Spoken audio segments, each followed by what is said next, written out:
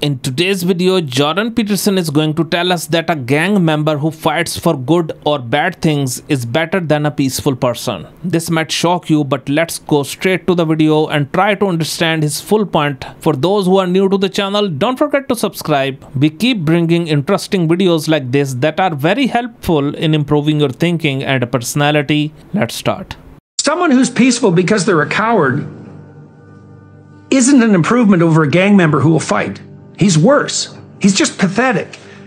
His goodness is all weakness. The gang member at least will fight.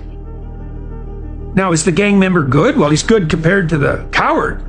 Is he good compared to what's good? No.